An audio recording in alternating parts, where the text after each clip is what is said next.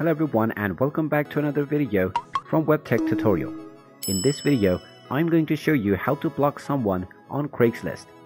So let's get started right away. First of all, just open up your email address and then type in craigslist.org in the address bar and press enter. Now if you haven't logged into your account already, click on the account icon at the top right corner and log in using your credentials. After you log in, you can get back to this homepage and look for various items that you want to buy. Now in case you don't like any post, or if you're having problems with any poster, then there are options that you can do to avoid them. Just open any of their posts and then click on the hide button. Once you click on this, you will no more see the post from this user. You can also choose to flag as prohibited, spam, or miscategorized item. When you do this, this will be added to your hidden posts. You can click on this to quickly remove it from the hidden items list. Now you can hide an item, but there is no way for you to block a user completely.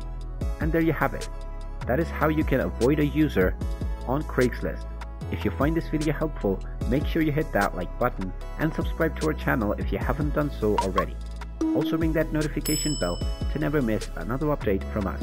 Thank you for watching and I will see you again in the next video.